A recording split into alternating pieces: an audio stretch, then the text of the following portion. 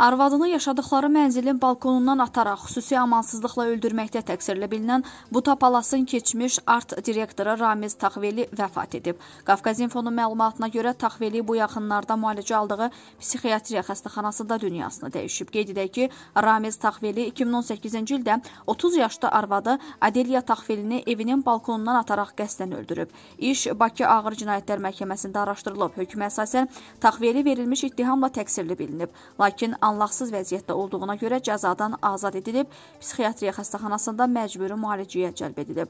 Adeliya Taxveli mərhum Gənclər və İdman naziri Azad Rəhimovun yaxın qohumu olub. Adeliyanın anası nazirin xalası qızıdır.